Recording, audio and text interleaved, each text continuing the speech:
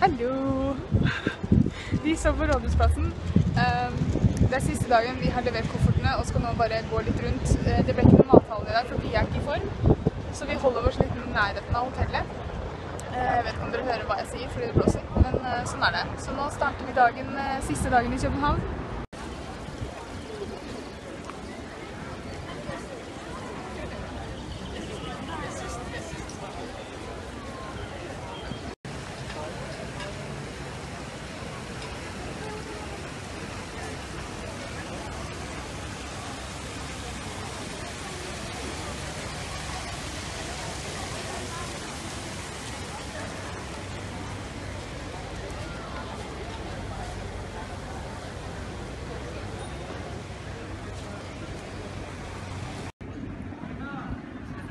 Vi har fått oss bag.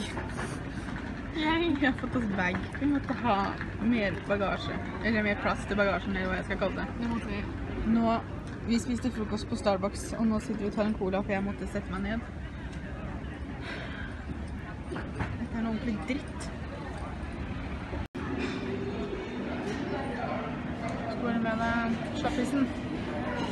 Jo, nei, det smertestillende begynner å slutte å fungere nå, så jeg merker Jeg tror jeg har litt feber. Ja. For uh, det er jo mulig å bare gå tilbake på hotellet og sitte der og vente. Ja. Det er ikke noe problem, det.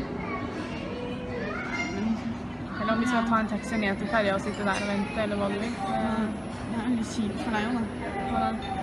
Ja, liksom ikke vi får gått rundt. Ja, herlig. Er du syk, så er du syk. Sånn er det bare. Nå skal Pia prøve å få i seg noe mat, fordi vi hun fikk ikke i seg nesten noe frokost. Så da har vi kjøpt miniburgere, som var egentlig veldig søte. Endelig fikk Pia rista hotdog. Yes. Med alt sammen på. Alt sammen. Pappa, se på det her. Se på det her. Ha-ha, jeg spiser pølse.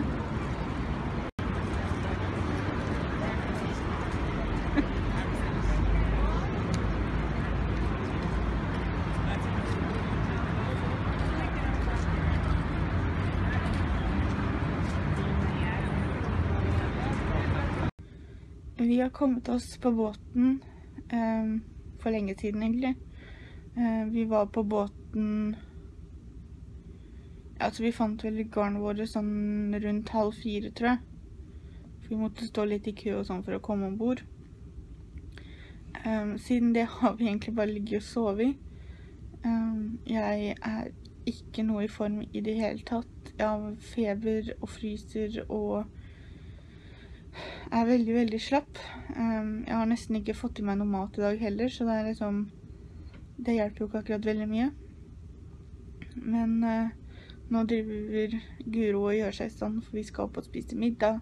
Vi skal ha buffé til middag i dag, så kanskje jeg finner noe som frister da. Um, og det blir jo bra.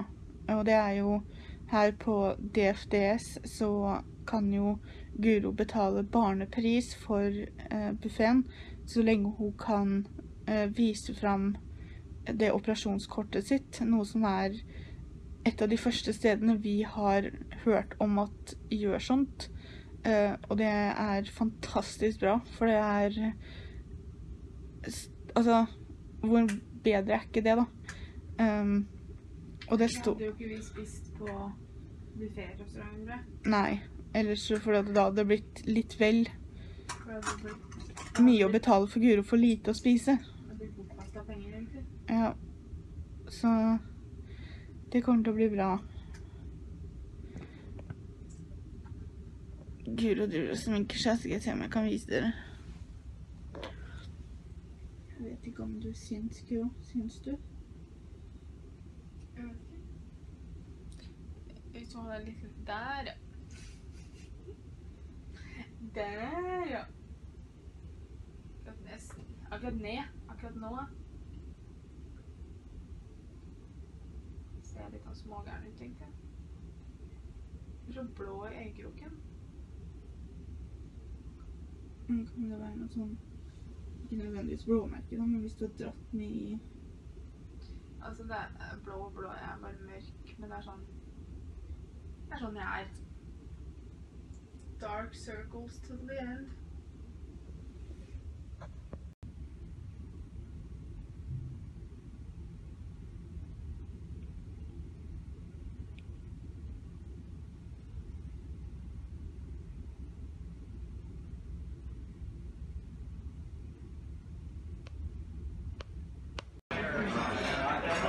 Close enough? Mm -hmm.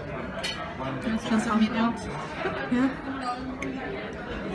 Jeg hent, eller Guro henta melon til meg isteden. Det var mye bedre for min mage, merker jeg. Da får jeg i hvert fall gi meg noe. Men det så utrolig godt det her ut det her òg, men jeg bare orker ikke akkurat nå.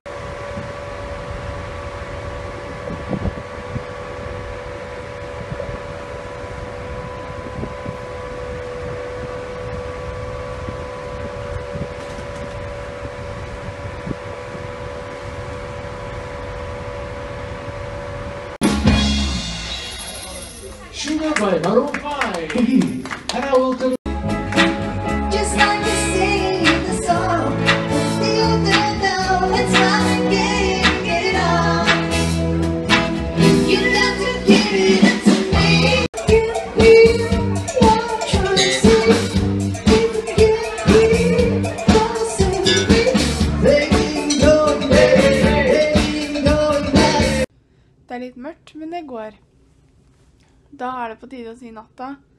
Uh, der, kanskje. Um, hatt en veldig fin kveld nå. Jeg satt jo oppe og tok noe å drikke i baren og hørte litt på litt livemusikk. Det var et spansk band, hvis ikke jeg misforsto. Uh, så det var veldig hyggelig. Uh, nå, er det, nå har jeg tatt av meg sminka og på tide å gå og legge seg.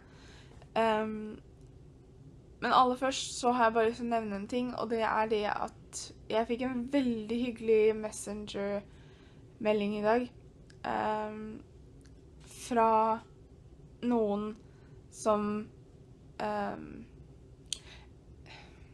Jeg vet ikke åssen jeg skal si det, for jeg har ikke lyst til å på noen måte røpe hvem det er. Men meldinga var kjempehyggelig. Jeg satte så utrolig pris på det.